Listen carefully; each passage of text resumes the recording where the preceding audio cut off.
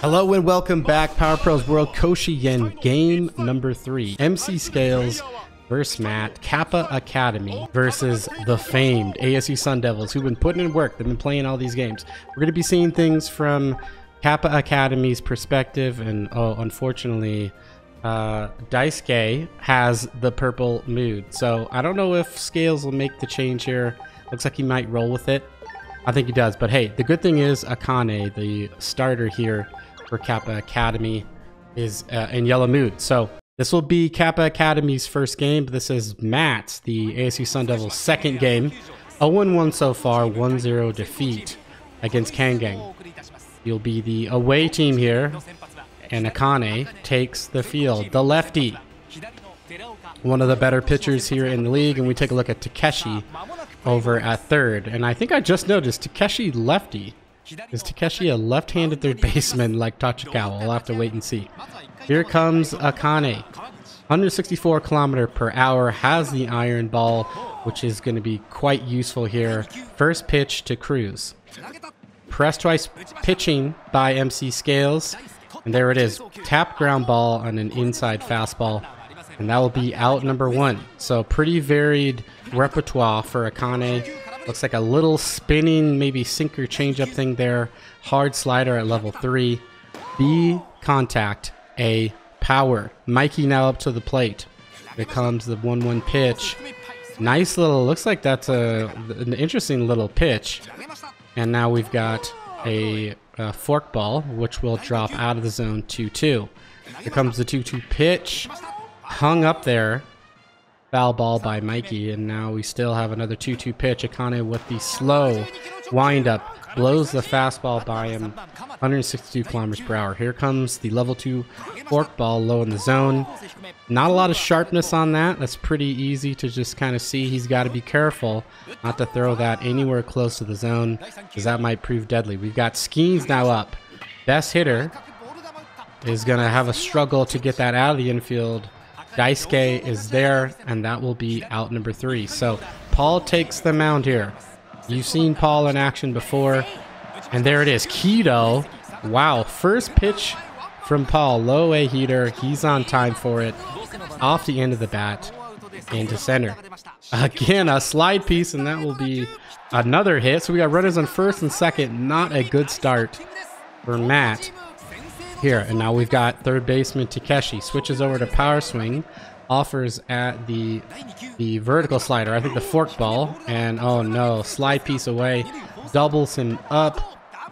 For that will be a twin killing. Unfortunately kills the rally for our men, the Kappa Academy, who now grounds out to third, and that will end it just like that. So quick two hits to start it out with the ASU Sun Devils rebound. And so now 0-0 here in the second. Akane with that first pitch. Now coming with the hard slider. Low away. It's going to be outside 1-1.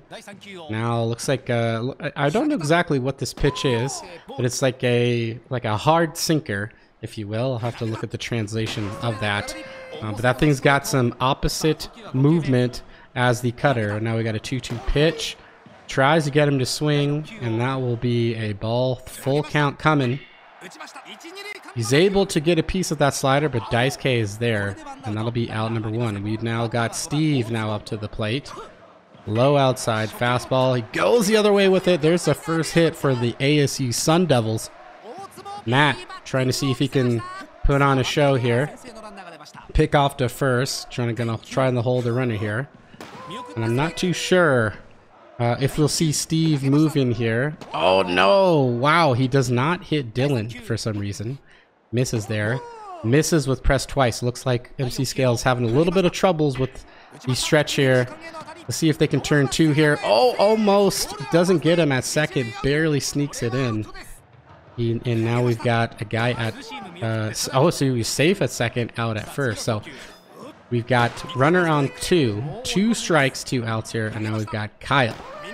Gonna just take, unfortunately, two fastballs in a row, and we'll end it. So now we've got Kazuhito up to the plate here for Kappa Academy, and Paul's ready to get back to work. S control, S stamina, 165 kilometers per hour. He's at that level seven. Hard slider. 0-2. Here comes the pitch. Looks like uh, Kappa is all over that fork ball. They can see it. They can get under it. And now Daisuke up to the plate. On time. A little bit, maybe a little bit late for the fastball. One hopper to third, and that will be out too. Kosuke, Kosuke now up to the plate. Swings at that uh, fork ball low away and will ground out. So tough game so far here. Two hits for Cap Academy, one for ASU. Now Cap up to the plate. Kane back to work. See if they can uh, really throw in a lot of strikes here. That's a lot of plate there, but looks like ASU will get underneath that. Akane will take it themselves. Now, ninth batter, Will, first baseman. Gonna jam him here with the the, the moving straight uh, little opposite cutter there. And now we've got two outs just like that. Another slower here spinner.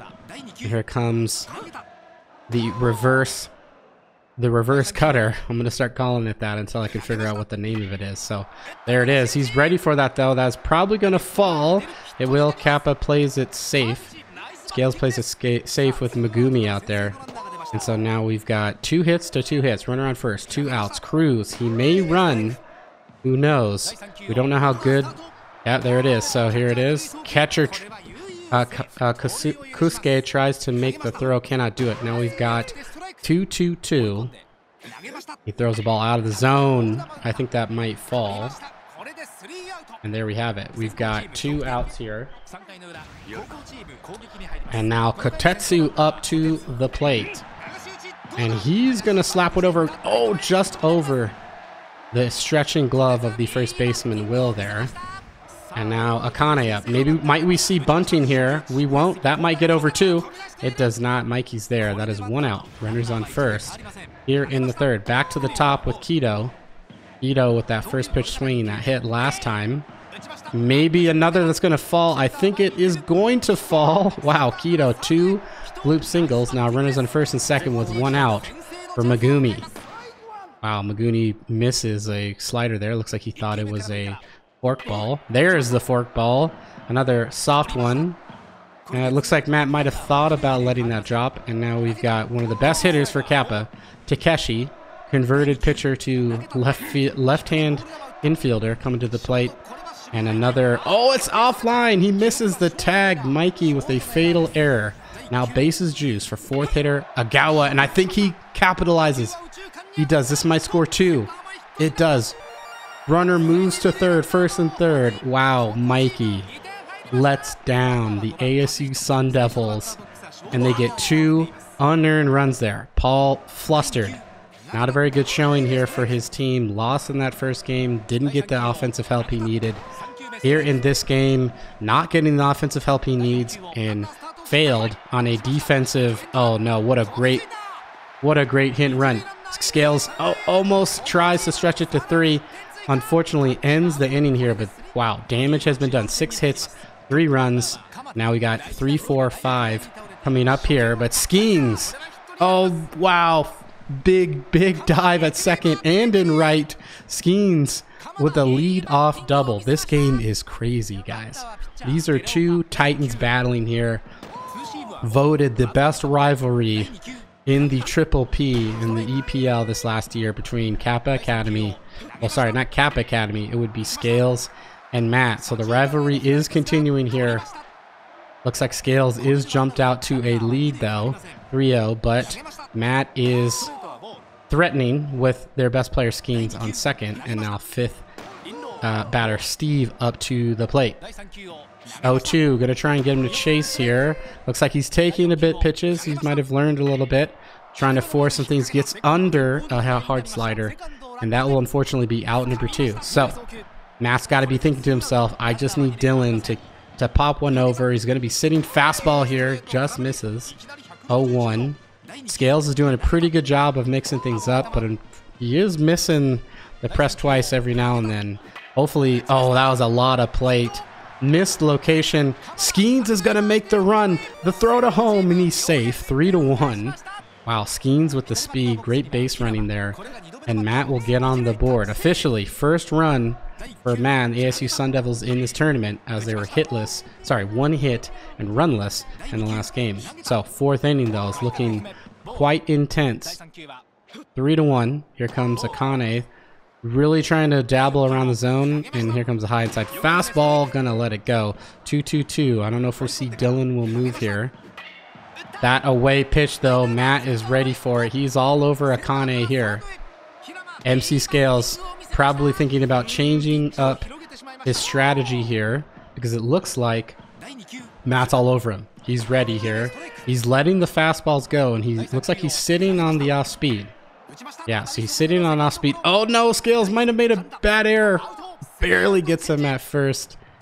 Wow, controlling some of the wrong players here has deemed fatal for, almost fatal for uh, MC Scales, but he barely gets out of that. And now here, we got one out just like that as Kosuke sits a nice little forkball Right on time, right up the middle, hit very well. Hear the ping of the bat. Runner on first. One out for Kotetsu, who might... Yep, he's not going to roll into a double play here. Just hits soften us that the runner does move to second. And now Akane. G contact, G power. Don't expect too much here. This might be the end of the ending. Matt knows he just needs to hammer zone here.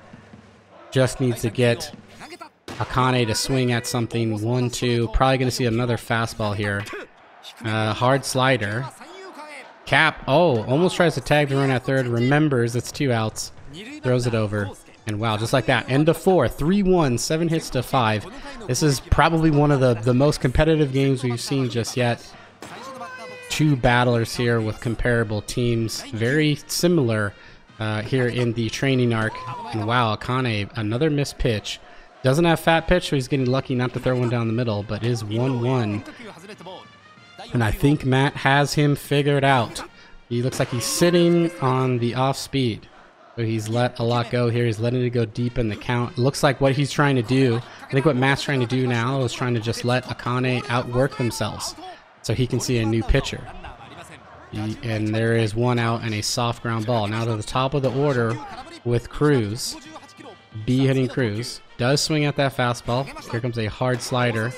Lets it go. Working the count. Looks like, uh, what, about 40, 30% of the bar. third of the bar. Um, Akane's bar is now down here. And we got a nice big hit there by Cruz to get on first. One out. Guy in first. Mikey up. Mikey's going to try and redeem himself after the error that cost three runs here. We might see some movement by Cruz. Might see hit and run. Might see steal. Oh, I think Mikey did. I think we're going to see the runner go to third too. He does. Keto tries to make the throw, but safe at third. First and third. One out for Skeens. Wow. So Scales really has to think about his strategy here. Hard slider. I think Cruz is going to tag. Oh, he no, no, he tags late. The arm is not good enough, though, by Keto out in center, so it is now 3-2, runner on first. The ASU Sun Devils are chipping away. Now Paul up to the plate. Tapped. Oh, he tries to steal early. He's caught stealing. Wow, what that extra little bit of hold by Scales. Uh, Matt just got a little bit too aggressive.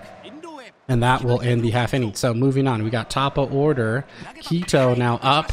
Ready to go on that outside slider, right to Will. Will's going to take it over himself. And that will be out number one. So Megumi. One thing I like here is uh, Scales added the voices to all of his players, which was great. Looks like they also, the announcer also pronounces their names too, which is super cool. So, but that's two outs. And now Takeshi, ground ball here. And that will be the out at first. All right, moving into the sixth. Paul now up after uh, that that pick off or that that early steal.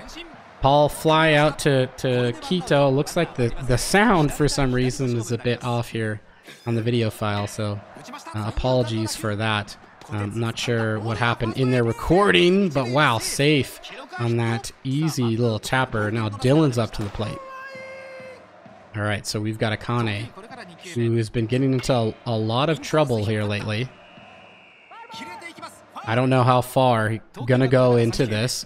The juice bar is getting a little bit uh, slower. All right, double play probably coming here. Gets it. Double play.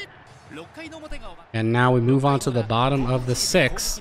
Kappa Academy trying to extend the lead. Is able to hit one over. I don't know if Will can get there. Oh, over the shoulder, Willie Mays catch. And now we've got Kazuhito up here. And there we've got uh, one strike here. And a pop-up. Looks like Paul will run over and get it himself. And that will be two outs. Daisuke up to the plate. Paul really kind of mowing down Kappa Academy, but I think Daisuke does get an, uh, a hit here. Almost every MC Scales hit right now, Kappa Academy hit, has come from that vertical slider, that fork ball, or that hard slider. So the hit and run, he's going to go to third. He's going to get super aggressive. Oh, that is three. So I need to play pay better close and closer attention to how many outs. So uh, here to the top seven, Akane. Gonna try and go up against the seven, eight, nine hitters. Still uh, doing okay.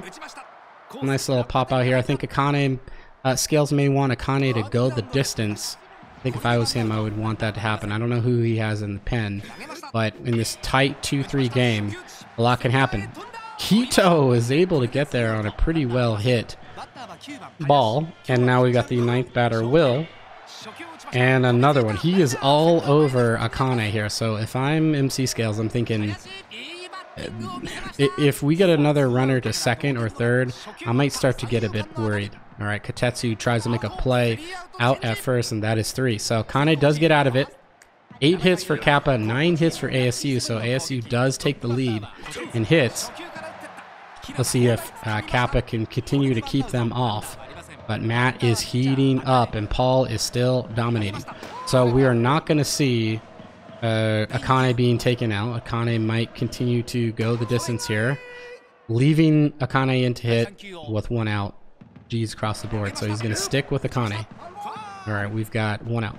Uh, one ball, two strikes here. Here comes the pitch from Paul and gets him on a moving slider outside of the zone for a strike. Now to the top of the order with Keto. See if Keto can get yet another uh, little bloop single.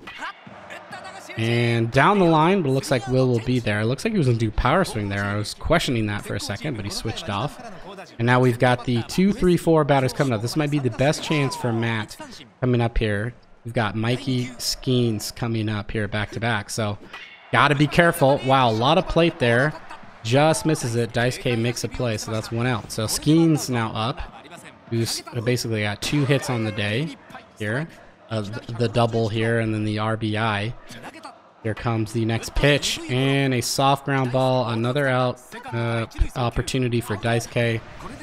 And now they're going down with a little bit of whimper. But look, we see the first sign of stress by Akane. And now look how small that press twice pitching circle is. Akane, don't know if he's going to be able to go nine here.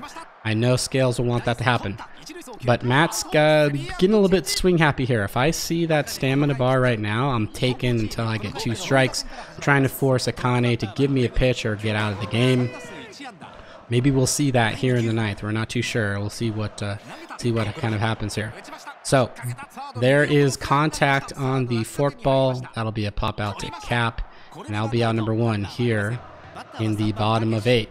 Last three chances for Matt coming out here, hoping not to fall to 0 2 with this stellar team. Takeshi, with a rip, is able to be on top of that uh, away slider. One of the easiest pitches to hit, in my opinion. High away slider, mid away slider, and uh, especially uh, to a lefty. Takeshi's able to smash that in, but uh, looks like another fork ball popped underneath it. Now we got two outs. Kazuhito going to try and keep the dream alive. He does. Away vertical slider, or forkball, I should say. Now first and second, two outs for Dice K. Purple Mood. Let's see what happens here. And down the line. Oh, wow. Goes for the dive. Misses it. 0-1 pitch. Is able to watch that go. See if uh, they can score this much needed run. It does not look like it. Mikey going to try and make that play. He does. That is three outs. Now moving into the ninth. This is it. 3-2 game.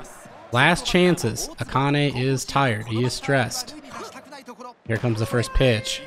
All right, barely. Very a nice, very, very good dot. Here comes pitch number two, and that will get down lefty Takeshi over to first, and that is one out. Now up for Dylan.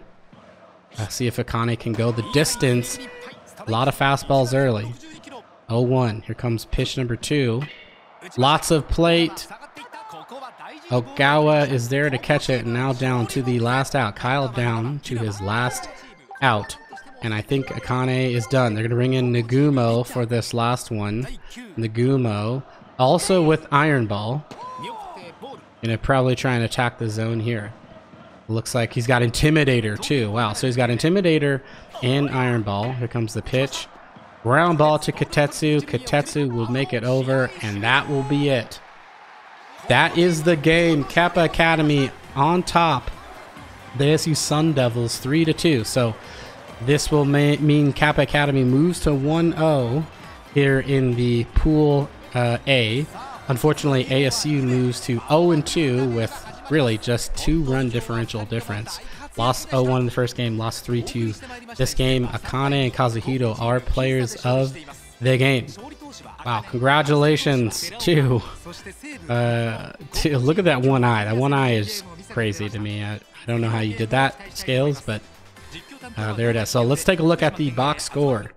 All right, so Akane will get the win. Nagumo will get the save. Paul will get the loss. 10 hits to 9. 3 to 2 was the final scores. All right, so Cruz goes 2 for 4 on the ASU side. Mikey with that one hit that that big error though, that's uh, that's tough. So Skeens goes one for three with the double and the RBI and the run. Paul hitless. Steve two hits and only two Ks for this side though for ASU. So Kane only got two Ks that game. Paul eight innings, 53 bat or 53 pitches, 33 face, the 10 hits, just the one K on his side as well. On the Kappa side, Keto, those two blue hits got that run.